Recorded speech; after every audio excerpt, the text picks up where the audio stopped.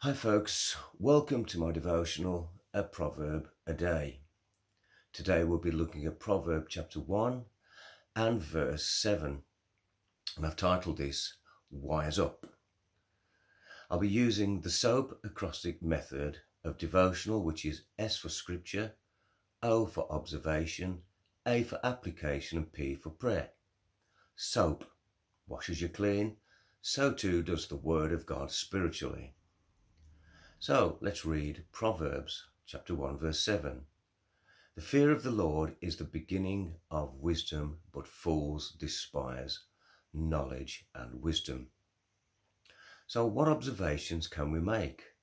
Well, firstly, we need to remind ourselves that Proverbs is portrayed by Lady Wisdom, and she's this smart teacher who wants to teach us and lead us, help us and guide us into godly wisdom, good old fashioned common sense, to help us live the good life in this world. She teaches us that there are choices to be made, and wise choices lead to good rewards, and bad choices lead to the consequences of those foolish choices. She also wants to teach us that this wisdom begins with a fear of the Lord. Now, this isn't some kind of cringing fear. This is simply a reverential fear of God with a childlike attitude or what is called filial fear, a childlike fear. It's one in which a child doesn't want to disappoint its father, so it does its best to do what is right. An example of this would be my son Carl when he was a child.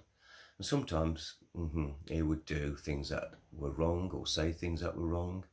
And I would have to correct him. And I would say, Carl, I'm really disappointed in what you've just done or said. And his bottom lip would quiver and he'd probably start to cry and he would say he was sorry and I'd pick him up in my arms and say, it's all right, I forgive you, but don't do those things. And then the relationship was restored and we'd carry on as before. With God, I don't think I really need to hear him say he's disappointed in me because if I've done something wrong, I'm already disappointed with myself. And I know that I, he would be so disappointed too with what I've done. And I would immediately say sorry and repent, and the relationship would be restored. Now, how is this going to be applied in our lives? Well, let me remind you that the story of Solomon can be found in 1 Kings chapter 3, verse 3 to 14, and how he obtained wisdom. God said to him, what would you like to have? I'll give you anything you ask for. And Solomon asked for wisdom so that he could rule as a good, wise king. But he could have asked for absolutely anything gold, riches, silver, splendid clothes, and all his enemies defeated. But God gave him the wisdom and he gave him all these other things as well. So that is what I'd call a wise move. So we want wisdom. We want to use wisdom daily. Now, how do we get this? Well, James tells us that if we need wisdom, we've just got to ask God for it. Well, that sounds simple. So let's read what James says, and then we'll apply this through prayer.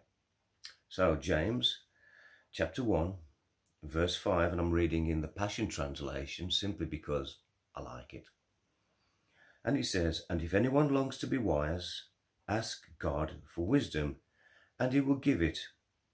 He won't see your lack of wisdom as an opportunity to scold you over your failures, but he will overwhelm your failures with his generous grace. Hmm, I like that. So, P, prayer. Let us pray.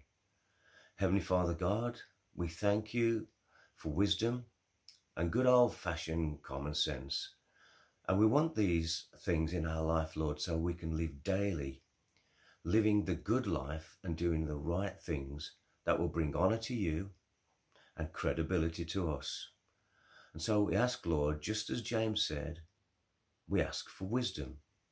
We know that you won't scold us about it. We know that you love us so much that you'll give us wisdom above everything else but you'll give us very good blessings on top of it and besides that. And you have done, and I thank you, God, for that.